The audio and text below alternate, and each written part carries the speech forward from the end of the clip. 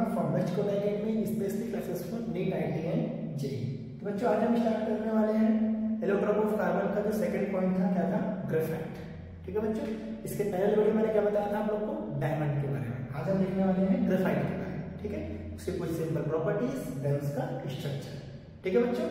चलिए देखते हैं। सो पहला पॉइंट क्या है इसका? It is a grace black opaque substance मतलब आप लोग देखे होंगे ना पेंसिल में जो लेट लगता है तो क्या बोलते हैं हम लोग? ग्रेस ब्लैक कलर का दिखता है और उसके आप बार बार नहीं देख सकते ठीक है?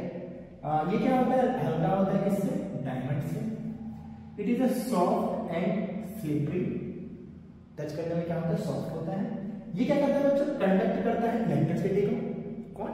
डायमंड और जब आप इसको बर्न करोगे तो ये क्या देता है बच्चों? CO2 गैस प्रोड्यूस करता है। अच्छा एक और इंपॉर्टेंट चीज़। ये इंपॉर्टेंट है। इसको बोलते हैं बच्चों प्लम बैगो क्यों? देखिए पेंसिल जो लकड़ी होता है, लकड़ी के बीच में क्या डालते हैं लेड डालते हैं। तो प्लम्बर लोग जो यूज़ करते हैं ना, उसके बेस पर इसका एक नाम रखा क्या?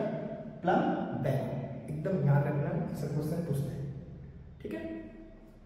देन बच्चों, देखते हैं उसका स्ट्रक्चर स्ट्रक्चर कैसा होता है बच्चों? देखो, आप लोग देखोगे, इसमें लेयर बने होते हैं।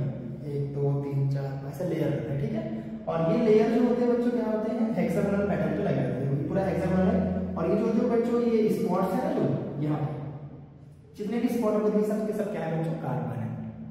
कैसे हैं? कार्बन है, ठीक है? और याद रखना, जो इसके बीच में जो आपके बॉन्डिंग के बीच में जो आ रहे हैं आपके क्या? बॉन्ड है। ये क्या होता है बच्चों? इसमें स्ट्रॉन्ग फोर्स होता है।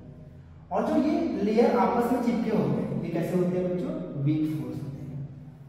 क्या होते हैं बच्चों? वीक फोर्स होते हैं। इसके बीच में ताकि इसको आप आराम से तोड़ सकते हैं। टूट जाता है बच्चों पेंसिल देखते हैं फट से टूट जाता है।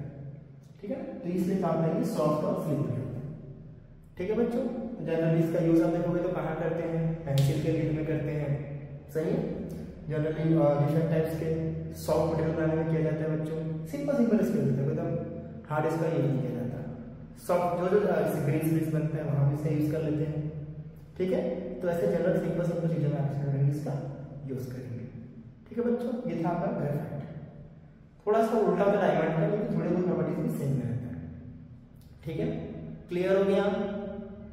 ग्रेस ब्लैक ओपेक्यू लाइटर होता है, हल्का होता है डायमंड से सॉफ्ट एंड स्लिपरी होता है कंडक्ट करता है इलेक्ट्रिसिटी को, CO2 प्रोड्यूस करता है प्लम बैगो क्यों बोलते हैं? इसको लकड़ी के बीच में लगाते हैं पेंसिल बनने के लिए इसको प्लम बैगो बोलते हैं।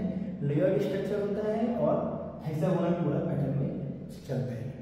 ठीक है? क्लियर हो गया? ओके थैंक यू ठीक है?